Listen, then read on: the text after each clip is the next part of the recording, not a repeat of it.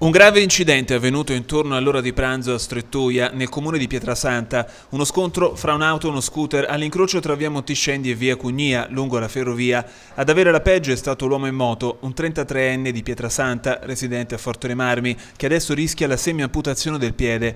Ha infatti subito un'importante frattura nello scontro ed è stato subito soccorso dai sanitari, portato d'urgenza al NOA di Massa, dove è stato operato con una prognosi di 45 giorni. Lievi invece le ferite per la donna residente a Pietrasanta, alla guida dell'auto, portata in codice verde al Versilia. Sul posto la Polizia Municipale di Pietrasanta per eseguire i rilievi. Per i soccorsi è intervenuta la Misericordia di Massa insieme alla Croce Verde di Forte Marmi con l'ausilio dell'automedica del 118.